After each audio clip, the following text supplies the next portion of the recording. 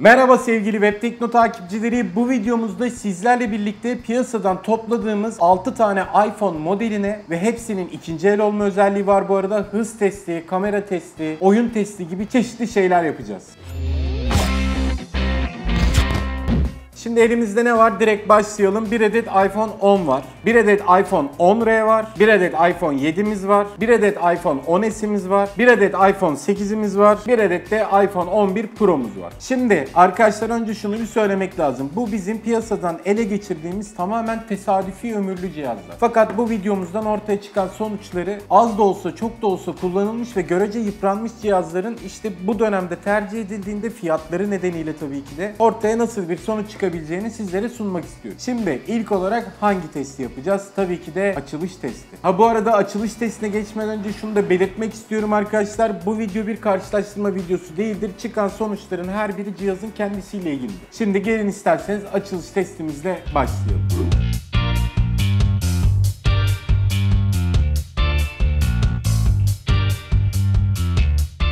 Telefonların açılış testini yaptığımızda sonuç biraz şaşırtıcı oldu arkadaşlar. Birinciliği iPhone 8 göğüslerken sonunculukta iPhone 10R'ye nasip oldu. Şimdi isterseniz gelin bir de bu cihazlar bizim belirlediğimiz uygulamaları ne kadar sürede açacaklar bir de ona bakalım. Yani hız testimize aslında devam ediyor. Evet şimdi geldik ikinci el telefonlarımızın hız testi faslına. Hız testinde arkadaşlar bildiğiniz gibi pek çok uygulamayı açıp açıp kapatıyoruz. Daha sonra ortaya sonuçlar çıkıyor. Şimdi gelin başlayalım öncelikle. İlk olarak iPhone 8'i söyleyelim. Birinci tur turda 50.52 saniyede süreci tamamladı. iPhone 10 46.01 saniyede, iPhone 10s 44.88 saniyede, iPhone 10R 49.49 saniye, iPhone 7 58.15 saniye, iPhone 11 Pro ise 44.73 saniyede bu maratonu tamamladılar. Şimdi şöyle bir baktığımız zaman en hızlı açılan milisaniyelerle iPhone 11 Pro olarak görünüyor. Sıralamanın en gerisinde ise iPhone 7 bulunuyor arkadaşlar. Bu da yine ikinci el olma faktörü vesaire vesaire de hesaba hesaba katılabilir. Şimdi arkadaşlar uygulama testimizin sonuçlarını da gördük. Tabii ki de sırada oyun testimiz var. Bakalım oyun testinde ne gibi sonuçlar elde edeceğiz. Evet arkadaşlar şimdi telefonlarımızda birer tane oyun test edeceğiz. Test edeceğimiz oyun PUBG. İlk olarak iPhone 8'de başlıyoruz. Şarjımız %98, sıcaklığımız 32.2 derece. Toplam 15 dakikalık oyun performansının ardından iPhone 8'de şarjımız %86'ya, sıcaklığımız da 38 dereceye çıktı. Şimdi arkadaşlar şunu bir hatırlayalım. Biz iPhone 8'in videosunu çekmiştik. O çektiğimiz videoda kullandığımız telefon sıfırdı. Ondaki test sonuçlarını görüyorsunuz. Şarjı %3 gitmiş. Sıcaklığı ise yaklaşık 5 derece kadar yükselmiş. Şimdi sıradaki test telefonumuz iPhone 11 Pro arkadaşlar. Şarjımız %100. Sıcaklığımız 31 derece. Bakalım bununla da bir 15-16 dakikalık bir oyun testine girelim. Finalde iPhone 11 Pro'muzun şarjında %2'lik bir eksilmeyle %98. Sıcaklığımızda ise 4.6 derecelik bir yükselme var. Yani 35.6. iPhone 11 Pro Pro'nun testini yaptığımızda şarjımız başlangıçta %79, sıcaklığımız 31.7 dereceyken yine 15 dakikalık test sonucunda sıfır cihazda da şarjımız %76,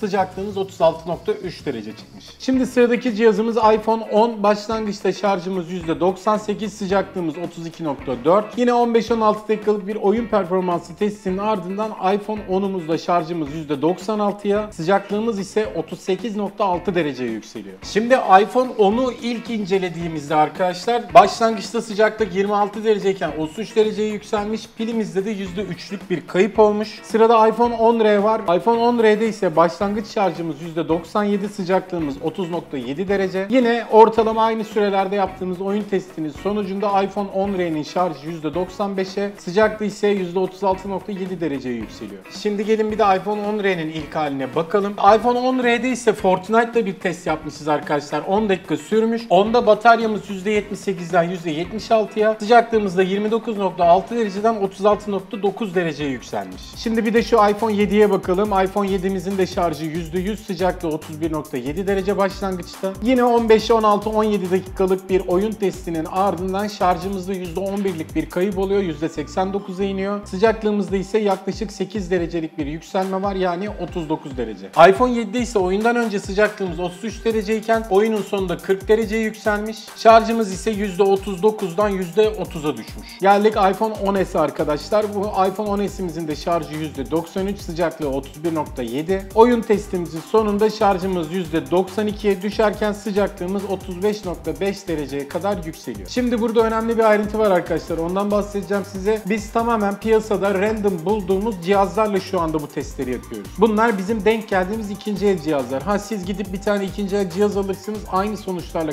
karşılaşamayabilirsiniz. Bunun nedenini de anladığınızı düşünüyorum. iPhone 10s'in testini yaptığımız zaman da yine 10 dakika oynamışız arkadaşlar. Sıcaklığımız 32,5 dereceden 36.8 derece yükselmiş. Pilimizde ise %3'lük bir kayıp olmuş. Şimdi gelin isterseniz bir de artık şunların kameralarına bakalım. Ya burada kameralarla ilgili şunu söylemem lazım. Hani kamerasının lensinde çizik yoksa, çok kirli değilse, çok performansının değişebilen bir şey olduğunu düşünmüyorum. O yüzden bu kamera testini bu anlamda değerlendirmenizi rica ediyoruz arkadaşlar.